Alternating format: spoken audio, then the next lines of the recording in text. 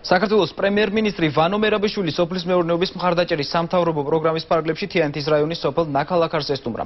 მერაბიშვილი პირადად გაესწრო ადგილობრივი მოსახლეობის პრობლემებს და მათი დაძლევის გზებზე ისაუბრა. სოფელში ერთ-ერთ ოჯახში სტუმრობისას პრემიერ-მინისტრმა მსხვილფეხა პირუტყვის უფასო ვაქცინაციის სახელმწიფო პროგრამაზე ისაუბრა. პროგრამის თანახმად ქვეყნის მასშტაბით თურქულის ხოლო 1 სექტემბრიდან ჯილეხის ვაქცინაცია დაიწყება. ამ მიზნით 250 მობილური ჯგუფი შეიქმნა, რომელიც ვაქცინაციას 3000-მდე სოფელში განახორციელებს.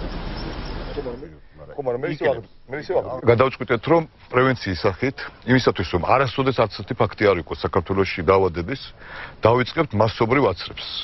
ეს აცრები გაგრძელდება უწყვეტად, იმისათვის, რომ არავითარი საფრთხე არ არსებობდეს. ჩვენ ავცერით მსხვილფეხარქოსანი პირუტყვი თურქული საწინააღმდეგო ვაქცინით.